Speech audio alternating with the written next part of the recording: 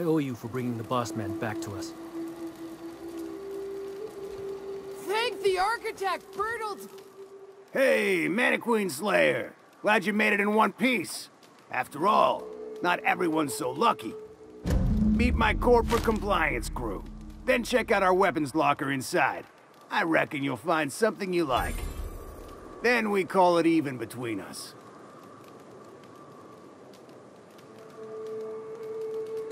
The corporate model is the oldest and most efficient, not to mention stable structure history has ever shown us. Plus, corporations got certain rights not entailed to individuals.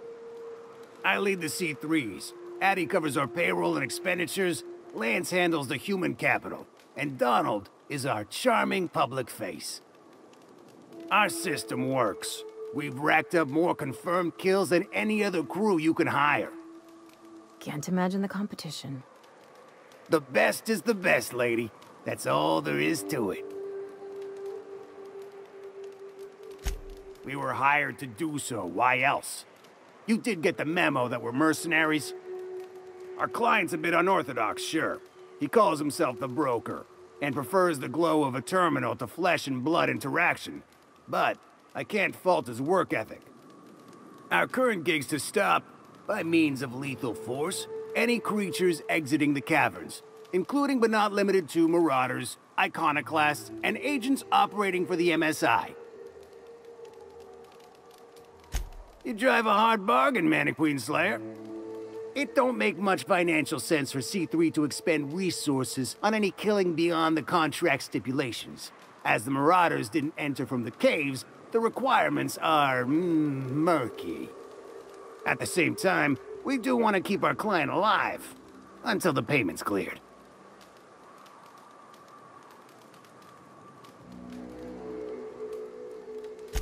We recommended the client safeguard himself, so I don't expect that the main doors will be accessible.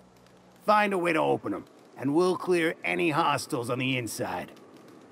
I'd best radio ahead for Joy and Hudson to prep for us. They'll be at the station entrance, ready with our finest auto mechanicals to assist you. C3s, prepare to move out.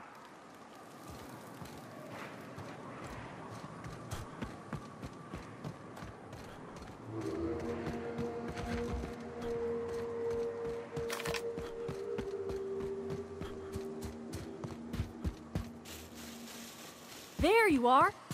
Boss man said you'd be up this Why way. do people make such a big thing out of hiking? Once you're up, you just gotta go down again. To be honest, I'm surprised it's still standing. Every time I set foot inside, I half expect the tower to fall over. Fox radioed ahead. Said I'm to follow you. Provide whatever support you need. If those bastards start shooting, we'll join in. I gotta warn you, my girl Sunshine here is a tad trigger happy. Of course, me and her will follow your lead. Just wanted you to know we wouldn't begrudge you of any violent inclinations.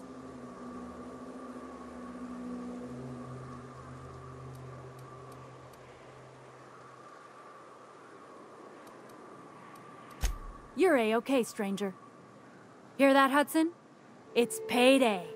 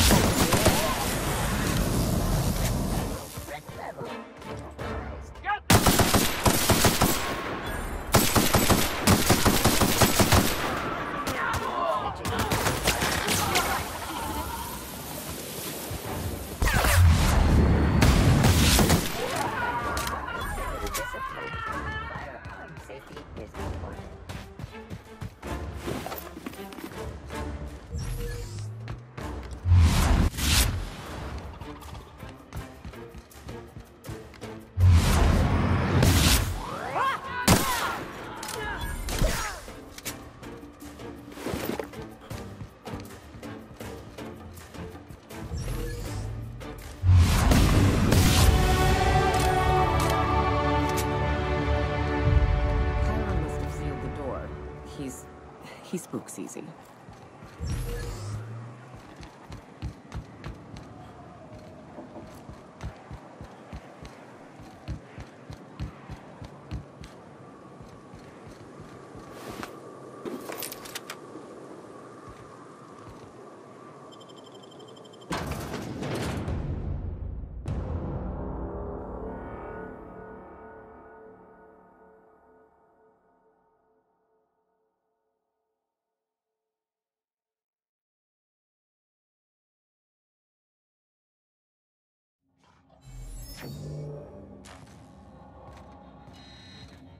spooks may not realize this being as you're an outsider, but the blaring alarms indicate the station's on lockdown.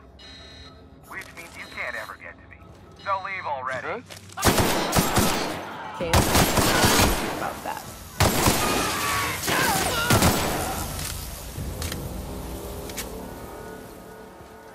Here's the elevator, but it ain't gonna budge while this place is on lockdown. Guess we keep moving forward. Look for another way up.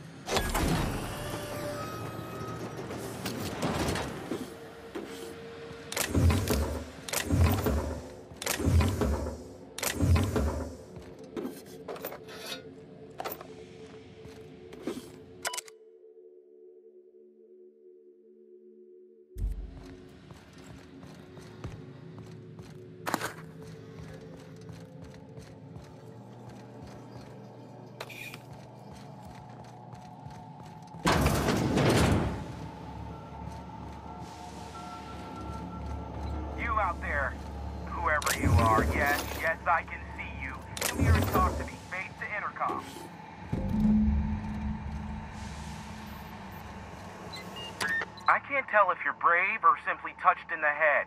What in the galaxy are you doing sniffing around my station? Unless you are, in fact, trying to suicide by Marauder? And you, Nyoka, what are you doing lugging a stranger into my station? You could use the socialization, you son of a bitch. Also, he hired me. To what purpose? I happen to have some significant problems I am dealing with right now. Marauders, running out of three days ago, not being able to bloody broadcast. No, no, no. We'll deal with information related business later. As I said, there are bigger problems threatening my life and livelihood at this very moment. The Marauders want me dead. And since my hired hands have clearly turned idle, it appears I need you to clear out the threat. As my newest contractor, you may call me the Broker. Or we can call you Hiram, on account of that's your damn name, and doubly on the account of the broker being a dumbass alternative. What? Everyone calls me that. Aside from you.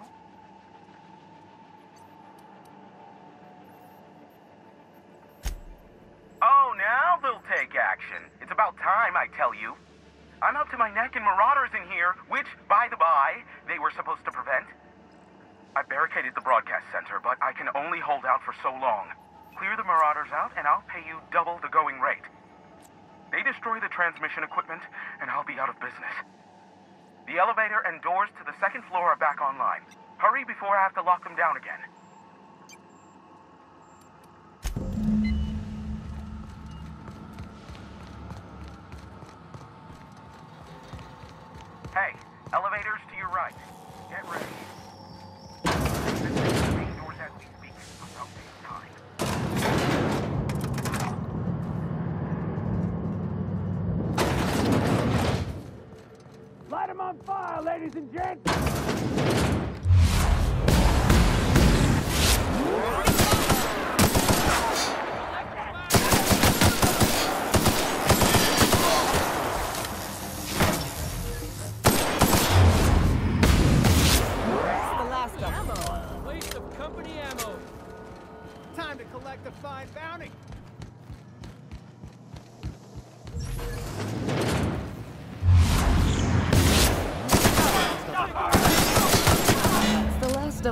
Think. Waste of company ammo.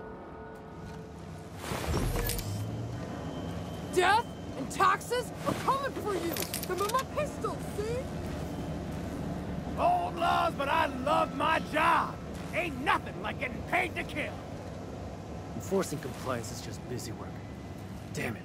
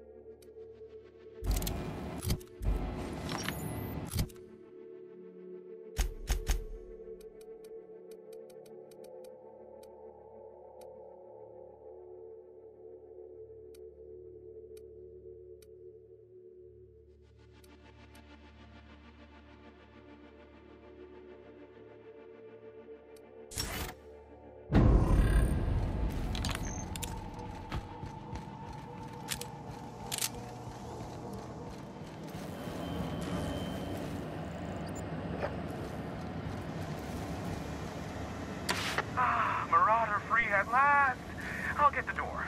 You'll hurry on it.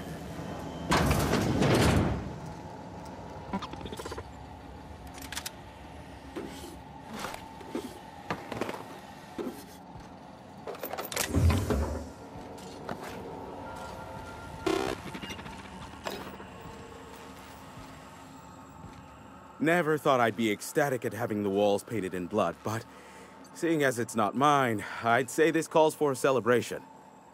And you got me my money's worth out of the C3s. I ought to have simply dealt with you in the first place. Oh no, my business is in trade, not owing others the burden of a favor. This ought to square our debt. One hefty payment for a highly valued service rendered. But I admit, I do wonder why Nyoka has brought you to me.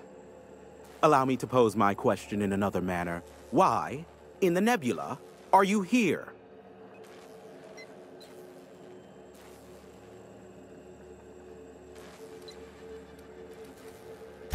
Uh, if you insist. As I was telling you before, I am the premier broker for all of Monarch. Phineas must have sent you. He's the only one insane enough to send someone to Monarch to rush me. I knew it was only a matter of time before he came a knocking. Look, I might be late, but I fulfill my contracts always. Oh, you do, do you? I have lost track of the number of beers you owe me for chasing raptidons off your stoop. Careful. I know that line. I use it all the time. I take offense to that. Look, okay. Just, it might take me a while this time. I am awaiting but a single incoming transmission containing the information we desire. But MSI and the Iconoclasts are clogging the airwaves from Stellar Bay and Amber Heights. In their war against each other, they're scrambling each other's outgoing transmissions. Exactly what I was thinking. They hurt us all with their pettiness. Which, of course, has inadvertently affected the incoming port and my livelihood. No, they're jamming the limited frequencies we have at our disposal. Nothing extraplanetary can get in or out until the frequency pollution thins out. The safest bet is to convince Graham and Sanjar to stop transmitting on their end.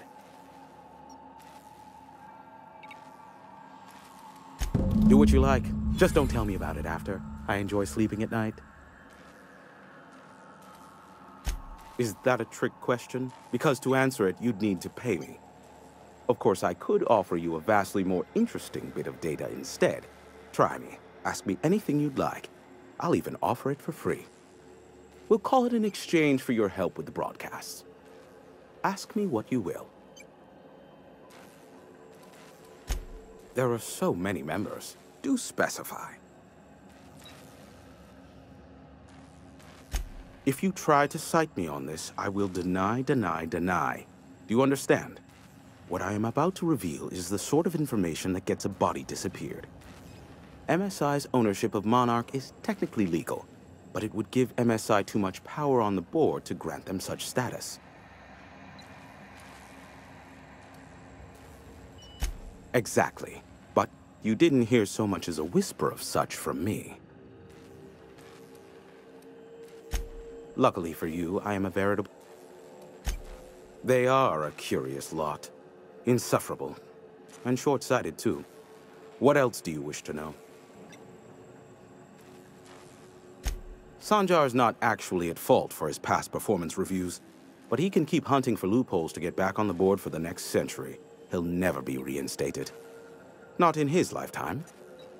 For Nebula's sake, even with the loophole I gave him, he's only in charge of MSI because every other exec died during the massacre at Amber Heights. I gave Sanjar and Graham legal information that would allow MSI to own Terra 1 once the other corporations had abandoned the planet. The execs had their concerns, but before the matter could be resolved, pirates raided their homes in the night. Some say Graham suffers from nightmares that leave him sweat-drenched and screaming. I would assume it stems from the friends and family he lost in Amber Heights all those years ago. You mean between MSI, the Iconoclasts, and myself? I bet neither of those megalomaniacs told you I was the true mastermind behind Monarch. Back when the colony was still Terra 1 and corporations were abandoning us left and right, I'm the one who approached Sanjar and Graham with the means to our salvation. I offered them a legal way to take control of the planet. If MSI were the only corporation here, they could claim sole ownership.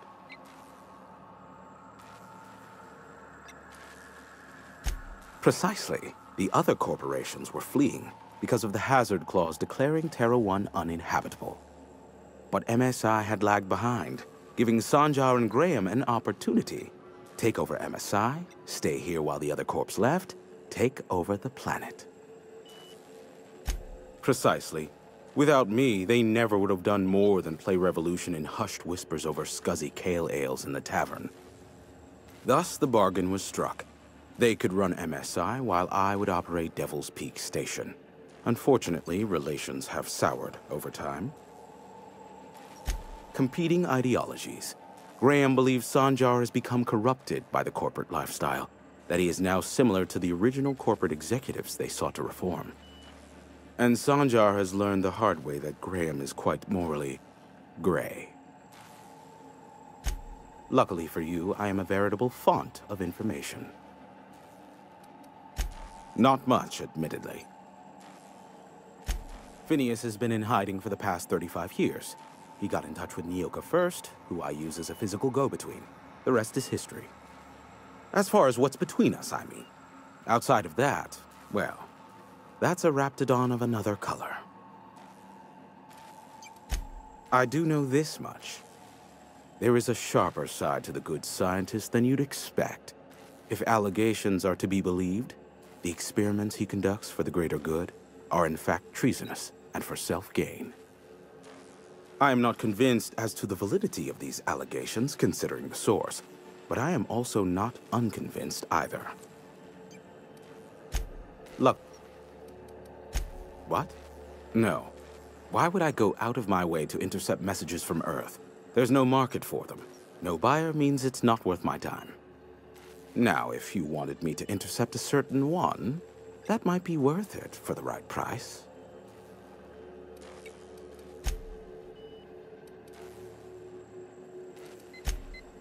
Oh, great. I love doing pro bono work for friends. Aw, you called us friends. I'd normally entertain your self-aggrandizing delusions, but this time it's important. Important to you is not the same as important to me.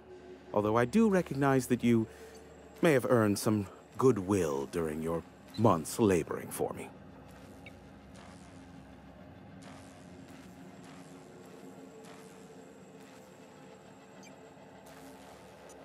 Tug on my heartstrings, why don't you? Look, I'll do what I can, all right? Rebecca Hodges and Anders Wadsworth. They took a UDL contract back when Monarch went to shit, and I need to find them. I believe them to be on Terra 2. If UDL hired two hunters back then, it would have been for creature clearing purposes round one of their Spacer's Choice outposts.